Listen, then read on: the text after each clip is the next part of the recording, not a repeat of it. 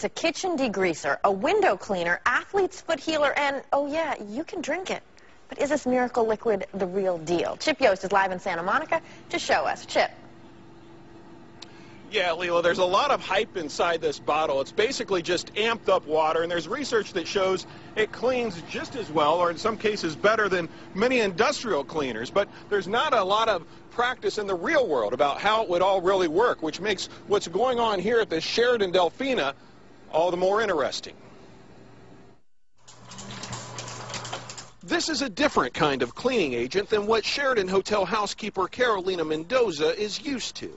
That means no chemicals, and we don't breathe it because we breathe the chemicals every day, every day, and not with this one. That's because instead of using chemicals off the shelf to clean, the formula she's using is being piped in from the hotel garage.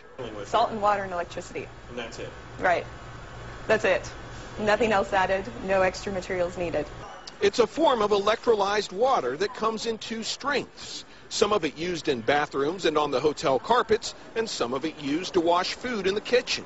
One University of Georgia researcher says using the water to clean the food can sometimes be 10 times more effective at killing harmful bacteria than traditional rinsing methods. And on the hotel cleanliness side of things, management says the hotel is as clean as ever. Um, guest satisfaction uh, index said, you know, for guest feedback, we have not slipped. We're still ranked very high in our cleanliness.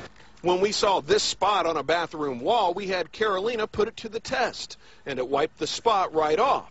So what's the drawback? And the downside would be the shelf life, because it's not something that you can sit on a shelf for years or months and months. I mean, Which is why the hotel had the system installed right on site. And though it's got a hefty price tag, about $12,000, the hotel says it's saving about $3,500 a month by not buying all the chemicals it used to, which is fine with Carolina, who says she's breathing better since the hotel started using the system a few months ago.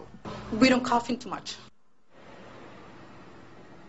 Because of those health benefits, the hotel says it's also saving on workers' comp costs. But as for drinking it, as you mentioned a moment ago, well, they say you can drink it, but it's not recommended. Reporting live in Santa Monica, I'm Chip Yost, Emmett Leela. Back to you. Okay.